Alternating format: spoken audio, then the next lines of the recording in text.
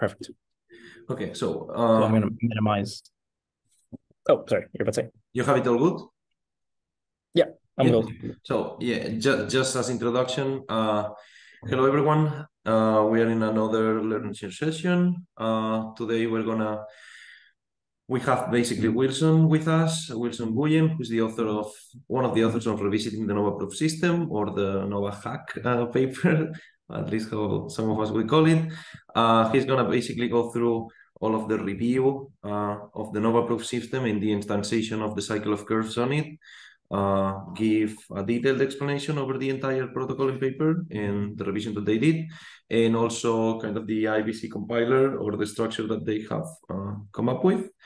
Uh, after that, as usual, we're gonna have a Q&A session where anyone is free to ask any questions about the paper or the presentation. So I hand it to you, Wilson. Thank you very much for being with us, and feel free to start. Thank you uh, for having me. Uh, so today I'll be presenting our work, revisiting the NOVA proof system on a cycle of curves. This is joint work with Dan Boneh and Srinath Setty from Stanford and Microsoft Research.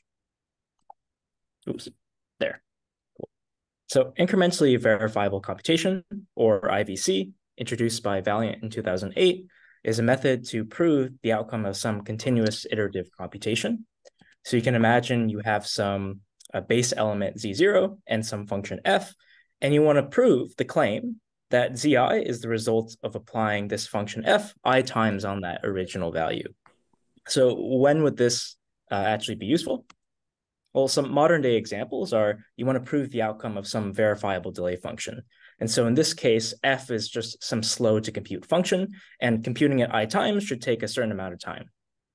Um, also, zk EVMs so ZKVMs you can think about as state machines. So now the Z's end up being states, uh, and F is some state transition function. So you want to prove that after I steps of some state transition, um, you actually end up with that final state.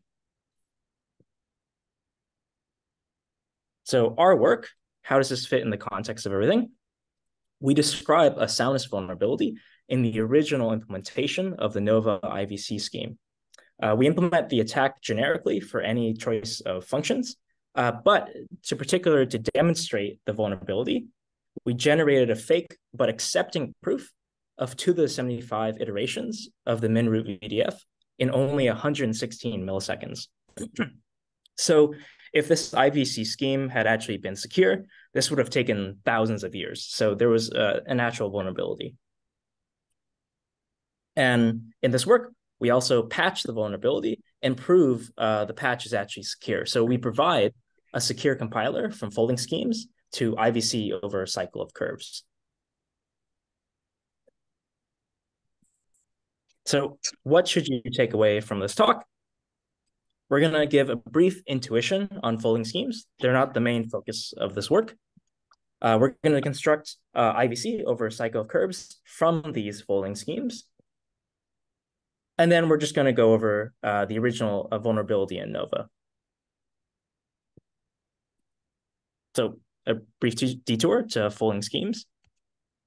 Uh, but in order to discuss folding schemes, we'll have to know the structure of the elements. And so I'm going to do a brief review of R1CS. Hopefully this is a review.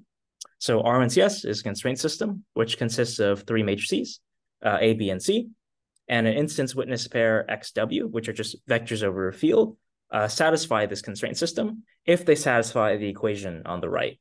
So the matrix vector product of AZ, uh, Hadamard product BZ equals CZ. So this is just a, Hadamard is just a component-wise product. And so Nova introduces the notion of relaxed R1CS. So this is a, uh, as it, in the name, a relaxed version of R1CS. So instead of an instance witness pair XW, we now have uh, UW, which also contain commitments and openings to commitments.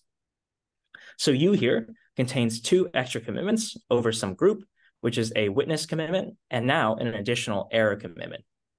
And so they satisfy a relaxed notion of R1CS where you additionally shift by an error vector and you also scale this matrix product by a scalar S. And so hopefully this is a hopefully this can be seen as a direct generalization of R1CS, just a more relaxed notion.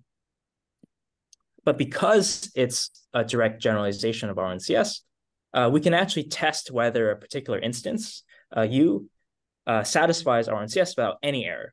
In particular, we just check if this error commitment is a zero and if the scalar is just uh, one. Uh, furthermore, since we have this option to scale and also add an error vector, it actually is trivial to come up with um, arbitrary pairs that satisfy a relaxed R1CS. So think about these as just um, for any uh, constraint system, we can just generate these pairs and it'll just satisfy that constraint system. So what are folding schemes then? The, the main motivation is to be able to reduce uh, the claim that a pair of instance witnesses satisfy R1CS to a claim that a single pair satisfies some constraint system. So a folding scheme consists of a pair of algorithms this time, a folding verifier, which takes in two instances and reduces it to a single instance. And also a folding prover, which takes in addition the witnesses and reduces the pairs to a single pair. Now, I've omitted some other items uh, in the true folding scheme, but I think the main gist is that you reduce the pairs down to uh, a single pair. I think I think someone's mic might be on. Um, okay, so why do we care about a cycle of curves? Well, in order to construct IVC, we'll actually have to specify the, the folding verifier in a constraint system itself. And so the folding verifier consists of a random linear combination over a field, but also a random linear combination of the group elements uh, in the instance itself. And so this will require a group operation. And so expressing um, field operations and field constraints is, is pretty simple, but how do you actually represent uh, group operations as field constraints? So this will require us to actually take a non-black box look into the commitment scheme. So zooming into those operations, uh, the group is actually an elliptic curve group whose base field is a different field from the scalar field. So this field is of order P and this group is of order P, but now this field is of order Q. And so what is a base field? Well, each group element can be represented as a pair of field elements that satisfy this elliptic curve equation here. And so the concrete representation of the group element is over a different field than the actual scalar field of that group. And so expressing group operations over their scalar field will actually end up uh, reducing down to the problem of how do you represent uh, foreign field operations as um, as uh, scalar field constraints. And so the way to think about this is that you just perform a lot of non-native arithmetic. So it's like representing a modular multiplication and addition, but over a different field. And so it turns out for each group operation, uh, this ends up being quite expensive. But we just said that this group is represented as elements over FQ. So why not just express those group operations over the base field uh, instead? Um, and so that motivates the need for two different constraint systems, but also a cycle of curves. So I'll explain what a cycle of curves is in just a moment here. So a cycle of curves is a pair of groups. One group has its base field over FQ, but has a scalar field over FP. So here, so this group has a field, a scalar field of order P, but its base field is a different field uh, so that the concrete representation of these group elements is actually over uh, as a pair of these field elements. And then another group uh, whose scalar field is the base field of the other curve. So now we represent, uh, oh yeah, so this, so this is of order Q and this is of order Q, but now its base field is the other group's scalar field. So uh, a cycle of curves basically just reduces down to two elliptic curve groups where the scalar field of one group is actually the base field of the other group. Now, if this uh, didn't make total sense, I think the um, uh, the implication on the next slide is what's actually necessary. But this cycle of curves is just needed for basically the efficient folding scheme to work out.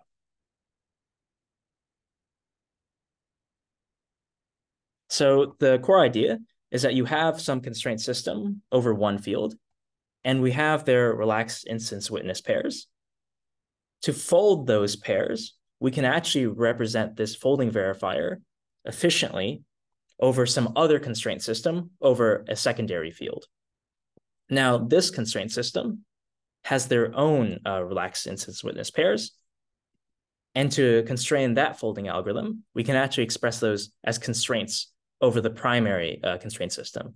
So now the difference is we have two constraint systems over two different fields, each of which with their own relaxed instance witness pairs. The folding of those pairs we can represent efficiently over the opposite constraint system. So now the difference is we have um, two types of relaxed instance witness pairs, and also two different constraint systems over two different fields.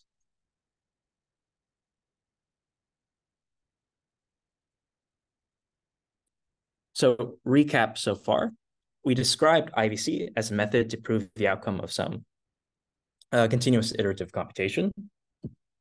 We discussed a rough intuition on what folding algorithms are uh, as a pair of algorithms, a folding verifier and a folding prover.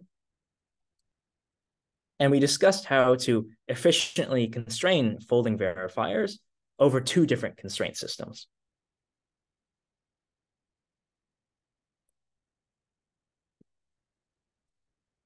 So now we actually have enough to discuss our compiler uh, from folding schemes to efficient IVC over a cycle. So what changes with the cycle now? So I, I described a very simplistic version of IVC, but what is IVC over a cycle? So this was standard IVC. So we had one function. We also had uh, one constraint system over one field. Now, as you can imagine, we have two functions operating over two different fields. And now we have two constraint systems operating over two different fields. And a hint is these constraint systems will be actually the constraint systems that we saw prior. So now what is the claim of IVC in this, in this new setting? The claim is that uh, we're actually going to prove I evaluations of the pair of functions over a pair of values and a pair of claimed evaluations. So I'll have two claimed evaluations, uh, two base case values, and two functions. The IVC verifier will take in this claim, but also some IVC proof and accept uh, or reject.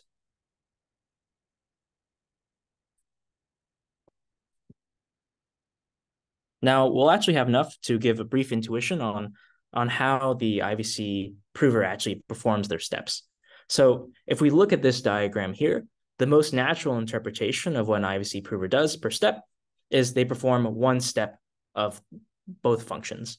So here I describe this, these are the different IVC steps. And each input is, you know, the function input and the function outputs. Now, how do we actually uh, prove uh, one function execution? In each of these steps, will actually prove the satisfaction of two different constraint systems. And these constraint systems contain in them um, the actual constraints which uh, constrain the function. So this constraint system applies one step of the function f1, and this prime and the secondary constraint system uh, uh, proves one step of this secondary function. So to reiterate, what we're looking at is a diagram of the IVC prover execution. And at each step, we're attempting to prove an, a, a set of executions, one for F1 and one for F2. In order to do so, we prove the satisfaction of two constraint systems.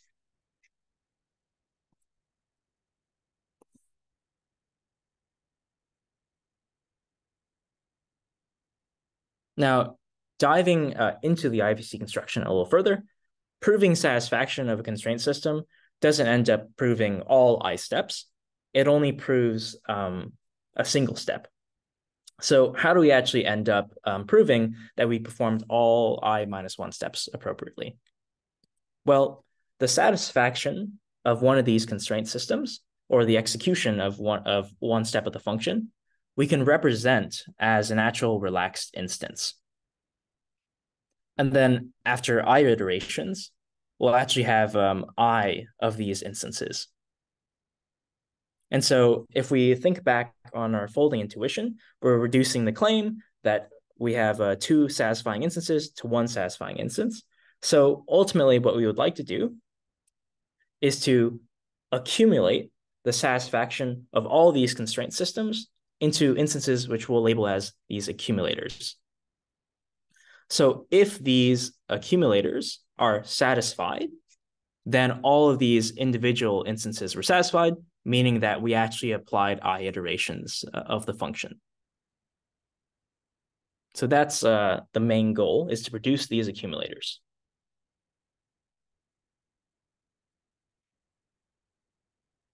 So zooming into the step further, in addition to taking in the function inputs or the pair of function inputs, each step will take in an accumulator or a pair of accumulators for all prior steps. So this accumulator represents the satisfaction of all of these uh, constraint systems on the primary, and this represents the satisfaction of all the secondary constraint systems. In addition to the accumulators and the function inputs, we also take in a strict instance. So this instance here will actually represent the satisfaction of the prior secondary constraint system. So I've labeled in green uh, what is a strict but satisfying um, instance. So this constraint system, so I lied a bit earlier, it not only applies one step of the primary function, but also does a folding step. So it takes in the secondary accumulator and also the secondary strict instance and folds them to produce the new accumulator. So it does, so this constraint system does a single step of the function, but also folds the opposite instances. Now, the satisfaction of this constraint system, we can represent as another instance for the primary constraint system. And similarly, we apply one step of the secondary function in the secondary constraint system, but fold the opposite instance plus the accumulator we had as input to this step. And now the satisfaction of this constraint system can also be represented as a strict instance uh, a strict instance for the secondary constraint system. And so if we look in at the inputs and the outputs of every IVC step, they're the same. Function inputs, function outputs, a strict uh, instance for the secondary constraint system, a strict instance for the secondary constraint system, and these are the updated accumulators, and these are the accumulators for the prior. So if these accumulators were for the prior I steps, these accumulators are for the prior I steps, plus the most recent uh, constraint systems. So we just updated the accumulator, we applied one step of the function, and now we also have another uh, strict instance here. And that's basically what the IVC prover does at every step. So it starts off with just uh, the base case values, some arbitrary uh, beginning instance, and some arbitrary accumulators. And then just applies the steps repeatedly. So now that we have the rough structure of what the IVC prover does every single step, what actually are the constraints uh, within this augmented constraint system? So here I'll describe the primary uh, constraint system, which is over the first field. Uh, but you can imagine the secondary constraint system is actually just symmetric, but you switch all the twos for ones and all the ones for twos. So in addition to taking in the function input and both instances. So this is the accumulator and this was the strict instance we saw earlier. We also take in an index, which will help us keep track of what index we're operating on. Uh, but we'll also forward uh, the original base value. So at the very, very end, we at least know what the original base value was. And now this instance here is now a little bit different. So remember how um, a relaxed instance was comprised of two commitments, but also some instance X. So in this case, our instance will be two hashes. So x0, you can think about x0 as constraining the input elements to each constraint system, and x1 as constraining the output elements of every constraint system. And so here, the first check will actually be on x0. So the input instance, its x0, contains all of the elements in the witness. So we can see here that this hash simply just constrains all of the input uh, elements. Furthermore, we just check if this instance we took in as input is actually strict. So it actually is the, the satisfaction of the prior constraint system without any error. Then we apply one step of the function, and also we apply one folding step. And now the instance checks. So remember how I said X1 was used to constrain the outputs of each constraint system? So the outputs are one increment on the index, we forward the base value, and then we also include the function evaluation and the new folded accumulator. And so this structure here is actually the same structure as this uh, X0 hash. But now there's this special uh, copy constraint here, which is actually very essential for the, the vulnerability, but also the proof of security. So what is this copy constraint? So this copy constraint copies the output hash of this prior instance into the input hash of this other of this next instance.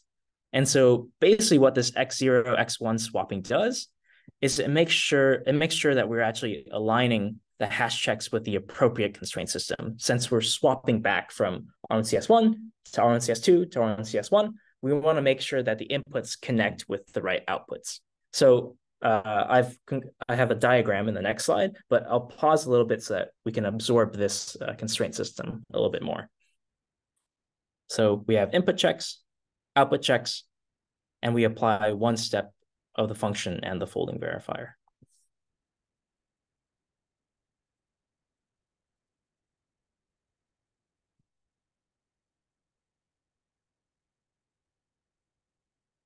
Cool. Okay, so why is this uh, copy constraint actually necessary? I've labeled in purple um, what is uh, needed for the first constraint system, and I've labeled in orange what is necessary for the secondary constraint system. So each instance has two hashes, x0 and x1, x0 and x1, x0 and x1, x0 and x1. Now, what is this? So first, let's discuss the hash checks. So this is just the uh, hash check on the inputs for this constraint system. And x1 is a hash check on the outputs for this constraint system. And now, ideally, we would like to forward that to the next instance. So here you can see this copying straight I've represented as an arrow. If we follow the diagram here, all this copy constraint does is it just makes sure that the output of R1CS1 will end up being connected to the input of R1CS1, but in a later step. And similarly, uh, for the secondary constraint system, this copying constraint makes sure that makes makes sure that we connect the output to the input for uh, the secondary constraint system. So because we're swapping between two two different constraint systems, we have to swap the input and output hashes.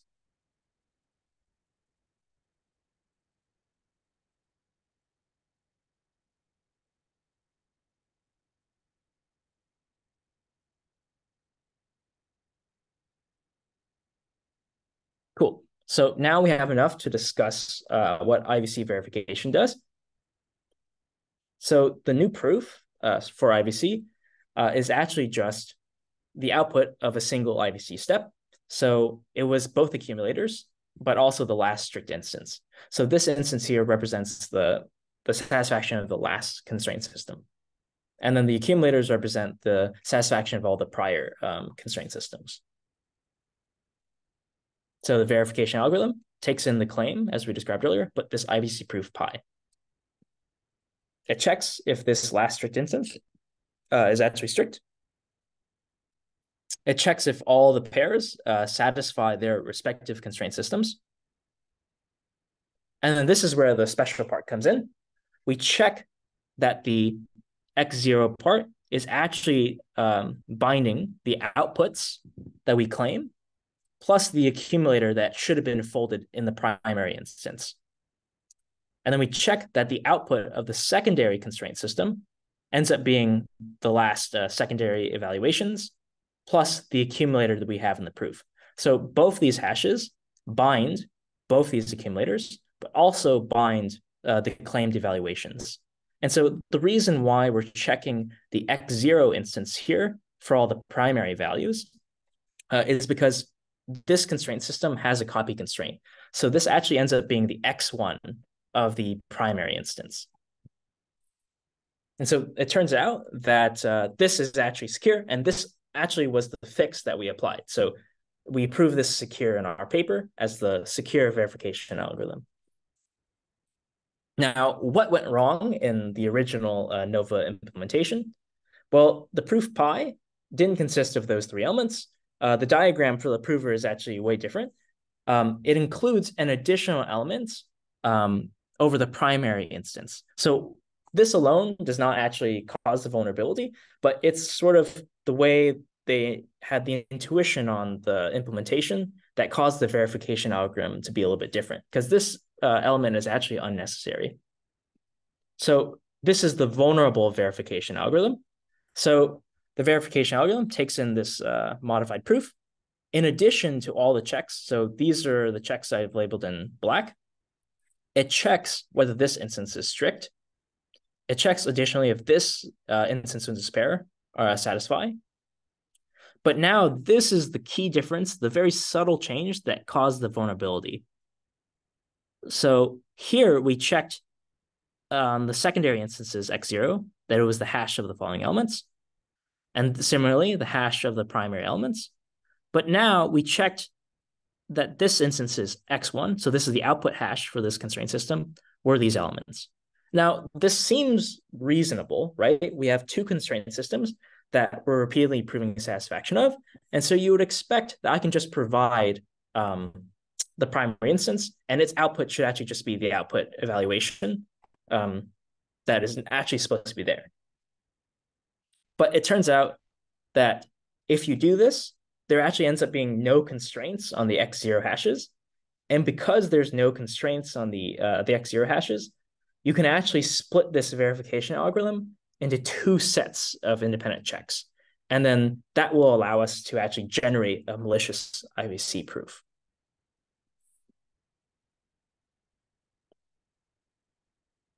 So now we can actually talk about uh, the attack. So what I've done here is I've just added a space. So I've represented the vulnerable uh, proof, and I've just segmented it into two halves. So I just put one strict instance, one accumulator, one strict instance, and one accumulator. And so it turns out that if you look closely on the um, the vulnerable verifiers checks, they actually can be split into two independent checks that are actually symmetric.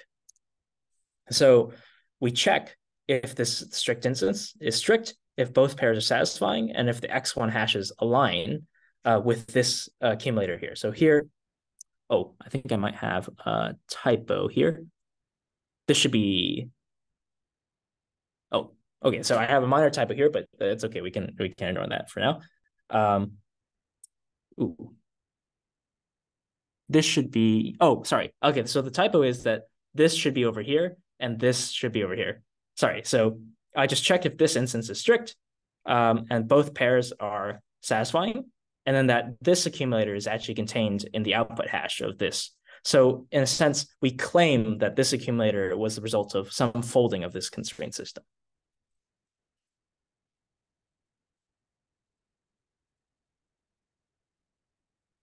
So the attack overview. Um, so we can actually claim and uh, so we can actually claim evaluation for an arbitrary set of starting values. So it doesn't, you can just, the attacker can just choose any starting values they want. It won't matter in the end. And you can also choose any arbitrary preimages. So these are preimages uh, to one function execution. So the claimed evaluations that we'll prove are we'll claim I evaluations um, of some evaluation ZI, which are just one function application of these. And so these can actually just be any arbitrary preimages. So they don't have to be actual the results of i minus one executions of the function. You can just choose arbitrary values.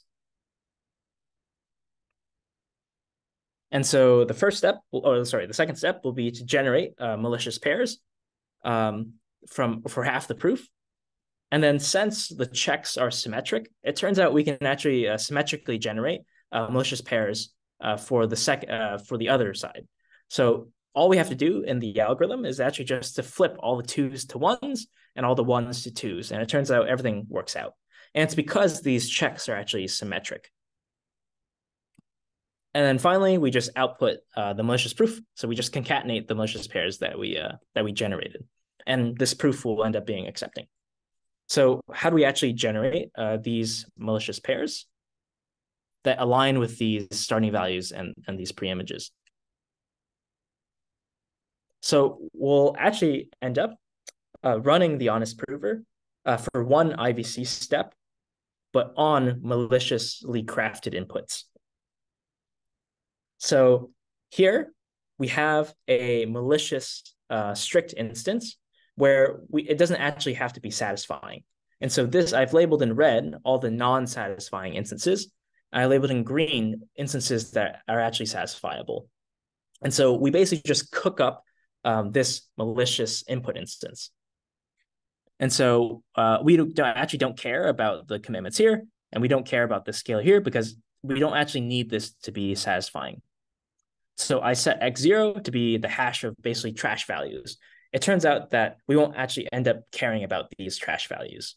So it doesn't even have to be satisfying this accumulator, and this z value can be any arbitrary z value. Uh, but what's important is that we cooked into this x1 hash the claim that we performed i minus one iterations, and that we used the base case value, and also that we used the preimage that we desired. Uh, this accumulator here will end up being, uh, we'll just use, um, so at the very beginning of the, of the presentation, I said that you can just come up with arbitrary pairs that satisfy the constraint system. And so here we literally just have an arbitrary pair, uh, bot, that satisfies the primary constraint system. And so we prove first the satisfaction of the first constraint system. So remember the function inputs. So uh, here I have a strict instance, I have some claimed accumulator, and also the function input from the prior step. So uh, we mod we uh, sorry we cooked up this x0 hash so that it actually passes the input hash check. So this hash check is satisfied. And then this x1 hash gets forwarded to the next instance. So we just have this copy constraint here. And then this output hash check is just is just trivial. So it, it is satisfiable just because we've we made it satisfiable. So I've labeled them brown what we'll end up just throwing away because we won't actually care about it. And so now we perform the, the second half step of the IVC prover. So now we take in as input the pre-image that we desire for the secondary uh, function, the, um, the satisfying accumulator you bought.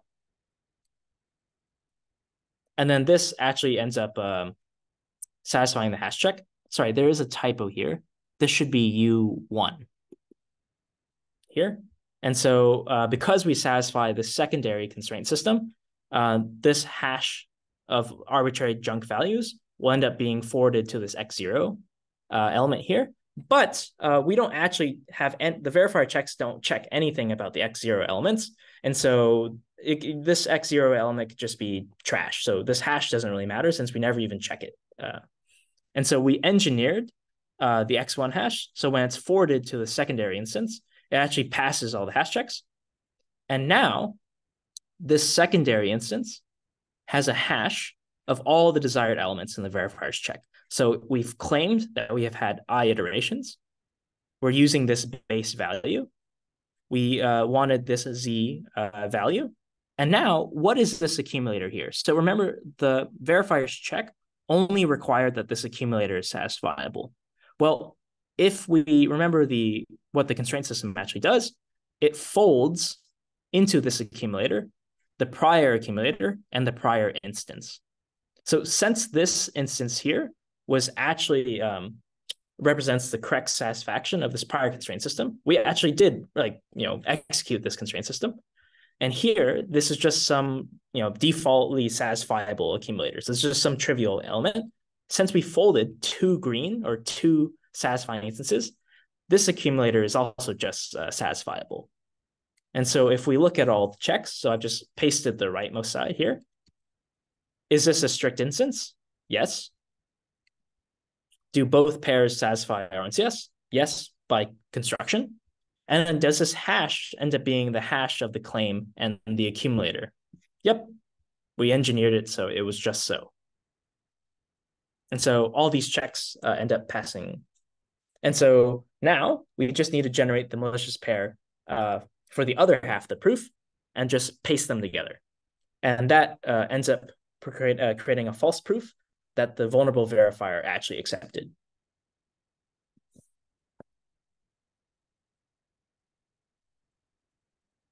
And so we actually uh, provide a generic implementation of the attack. And just to reiterate, we uh, generated a fake proof of two of the 75 iterations of the minroot VDF, uh, which in, in 116 milliseconds, which would be impossible if the if the scheme was actually secure. So in conclusion, the moral of the story is to always make sure that you have a proof of security of what you implement, or at least there exists some proof of security of what you implement. And there's now an efficient compiler from folding schemes uh, to IVC over a cycle of curves. Cool. And uh, I'll be happy to take questions.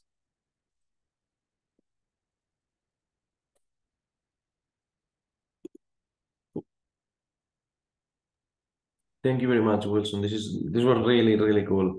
Um, I guess I would start and break the ice a little bit. Um, so how do you came up with that? Like, what what was the like? Is that you looked at the paper or the implementation and like somehow you saw it directly? Did you were you running like some kind of analysis over it, and then it's how you catch the thing? Like how how this popped up? So I actually um wanted to write an SOK um, which is like a basically a summary of all the folding schemes out there. Um, but there was one thing that was missing, and so I was reading the Nova paper, and I was like, okay, this this works out. You know, Protostar, all these works, but the one thing that was missing was an actual complete description of how um, Nova was implemented over a cycle of curves. So the original paper did provide a table of the number of constraints on each curve, but didn't really um, describe the operation of the of the prover at all. And so I was like, okay, I don't I don't know what's happening. Uh, and so I read Justin Thaler's textbook because he wrote a section on this. Um, but it turns out that his discussion of the cycle of curves was only a footnote, but the footnote was like half uh, it was like a half a page. Um, but it didn't really provide an intuition on, or okay, maybe it does for some people, but I, reading that I couldn't really tell what was going on. And so I was like, okay, you know what? I have to just do the grunt work and so I just went through the code base and just reverse engineered every step until I was trying to figure out what was happening. And then I was like, okay, there's no way this works. Like, uh, like there's no constraints on X zero. And so I was just like trying to think of like, you know, why, you know, I was trying to do the extraction proof, like the security proof. And I was like, there's no way this works out. Uh, and so I was like, okay, you know what? I'll just try to put junk values in X zero, right? And so then I just, you know, just coded up something really quick. You know, I, of course, my uh, initial code was a little messy, uh, but then it just verified. I was like, no, there's no, there's no way. Like maybe I like ran an old version of the file or something like that. And so then I just kept on running it, and I was like, oh, okay, so it actually, it actually does work. And so then I reached out to Srinath, and then we were discussing about like, you know, what are potential patches. And so we settled on the fact that um, you could just remove the instance since it wasn't actually necessary but that came after some discussion of like how do you actually um, prove a successful extraction? And so this clean diagram sort of uh, only came up like a little bit later. Thank you. Thank you very much. Um, we have some questions in the chat. If you want to read them okay, yeah. can...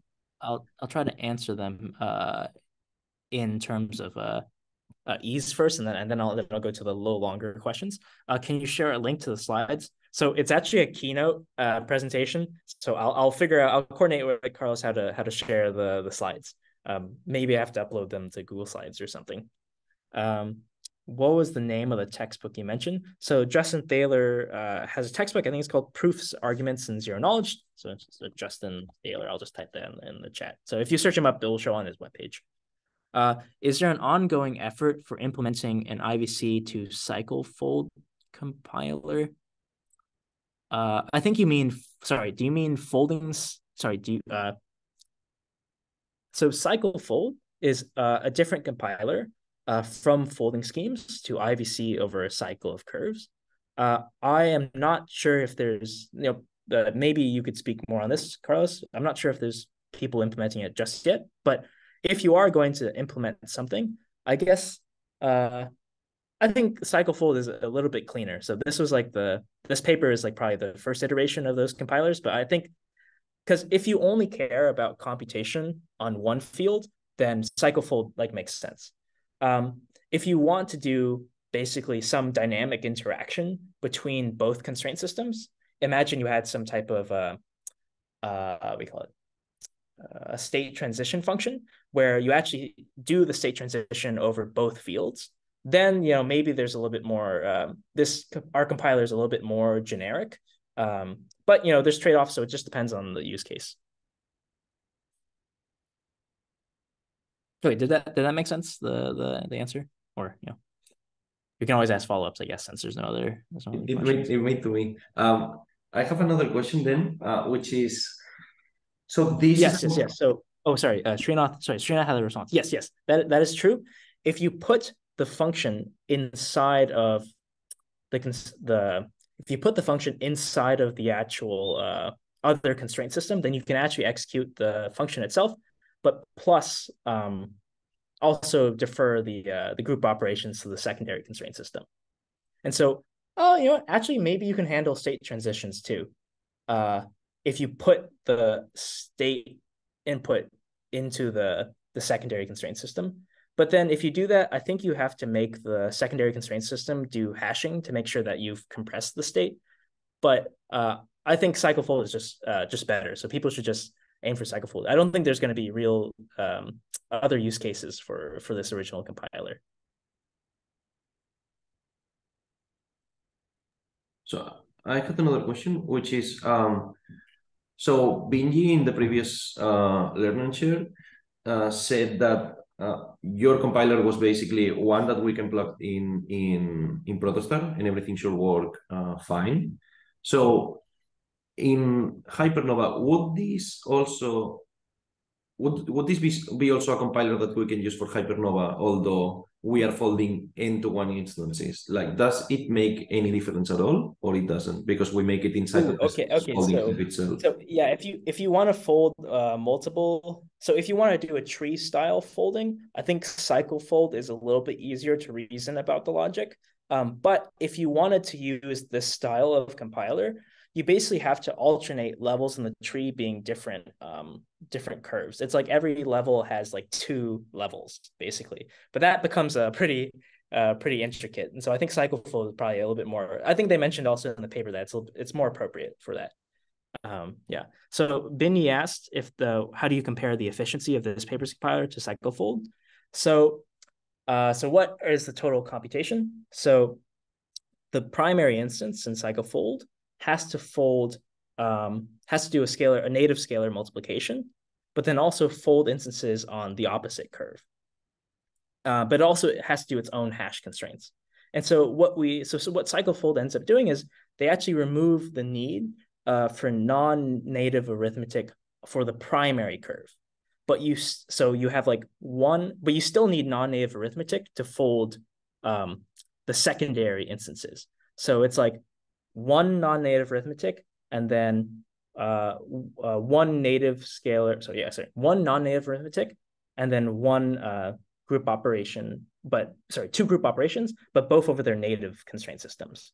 And so our compile uh, also there needs to be a hash check, but our so but our compiler we do two hash checks uh, for the input and output instances, and then we also do two non-native uh, arithmetics and also uh, but two group operations over uh, the native field.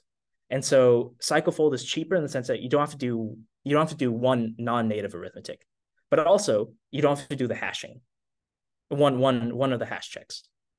Uh, but the trade-off, or I guess the, the point is to CycleFold like maximizes the amount of work on one uh, over one constraint system and minimizes the work over the secondary constraint system. I see. Thanks. So is that means it's strictly better in any cases or not? Like because I saw that there's there's some trade-off in cycle curve in in uh when you want to because you basically want to add some folding operations or on Nova inside the inside the inside the circuit, right? Uh, yeah. You... So what you so the trade off is that um, your primary instance is bigger. Wait, sorry. Actually, sorry. No, no, it's not. Sorry, sorry. Let, let rephrase that. So it's not. Sorry, sorry. My bad. The primary instance is not bigger because uh, in our compiler we had to fold the opposite instance anyway, so that was already present. Right. I guess the from my understanding, like CycleConv removes all the non-native uh, scale operations in the original uh, folding uh, verifier, but it also adds another folding verifier for Nova in order to fold all those uh, group operations, right? Yes, so, so, you need to do yeah, so you do need to do non-native arithmetic for the Nova uh, for the Nova folding. Folding. In that, that involves some group operation as well, right? One one group operations. Nova. Oh, sorry. Uh, Srinath added some clarifications, so maybe this will help here. Uh, to add a bit more, CycleFold is strictly better for folding schemes that have more finite field uh, hash operations. Yeah. So okay. Yep. And then for no, so just to reiterate uh, for the recording, because you know maybe the chat's not recorded. Uh, Srinath said to add a bit more, cycle fold is strictly better for folding schemes that have more finite field operations and hash operations, you know, such as Hypernova, Protostar, or ProtoGalaxy. For Nova, it moves the gates from the second curve to the first uh, to the first curve. Yes. Yeah.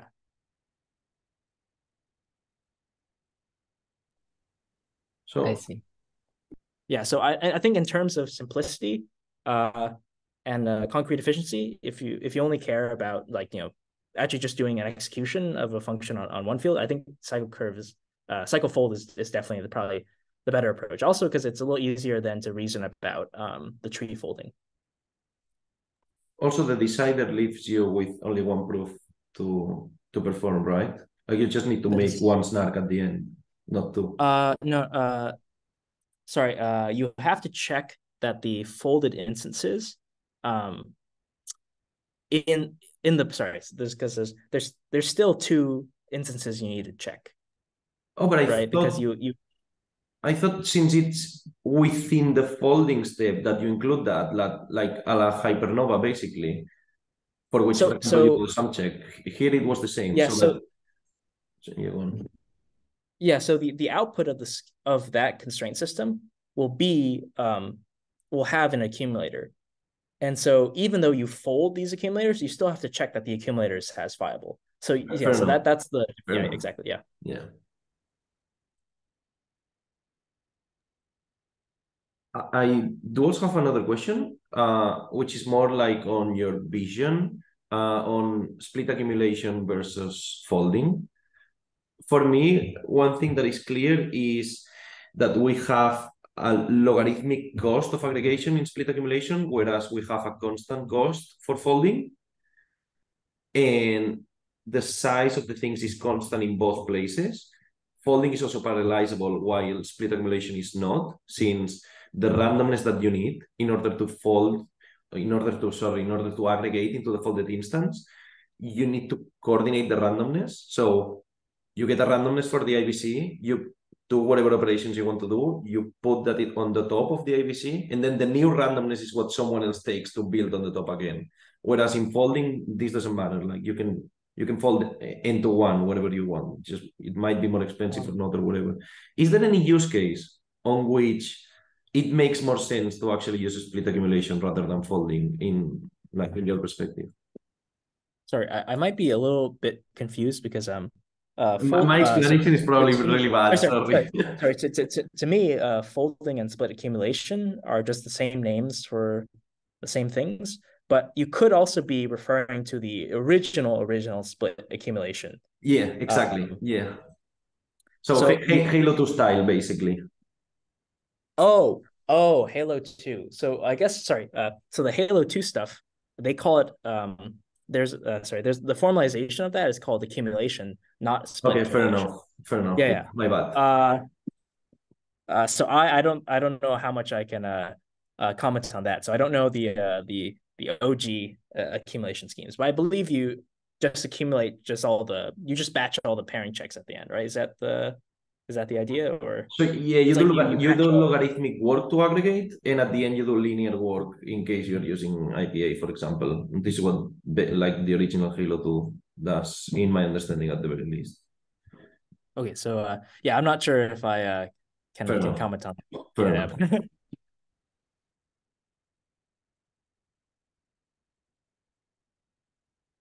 cool. Are there any other questions that we have? Uh, maybe in the chat or if someone wants to speak? Yeah, if anyone, yeah, if anyone wants to, also if if Srinath, you want, you know, if you want to talk about uh, CycleFold as well, you know, this would also be a perfect opportunity. Um, but yeah, no pressure as well.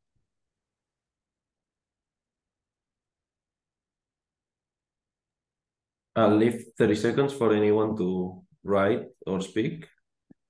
And otherwise, we will either let Srinath talk or conclude the, the presentation, whatever you prefer.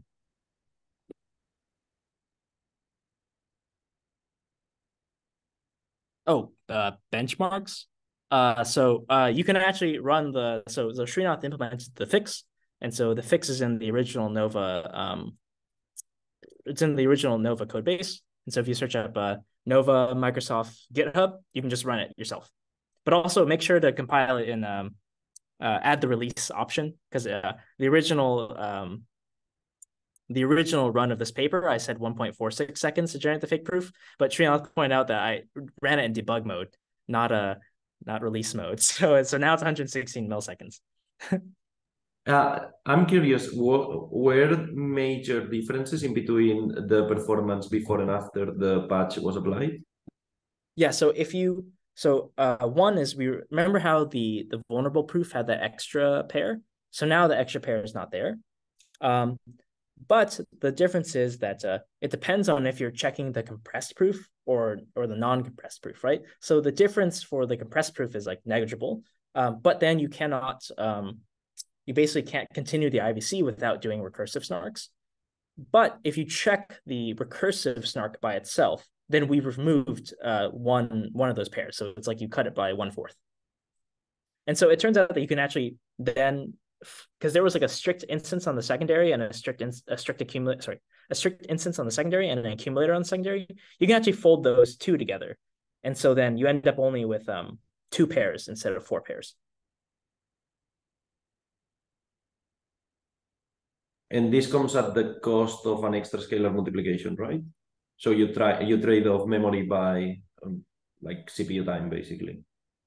uh no so the uh you can actually fold those um two instances without like not in a constraint system you just provide um yeah yeah you just fold them you just uh, you give them Okay, thank you, thank you, thank you, thank you. Okay, so we don't have any more questions. So thank you very much for your talk, Wilson. Thank you very much for being with us, thank you for having me and nice work. Chat to you soon, everyone, and thanks for being in the session. Cheers. hey John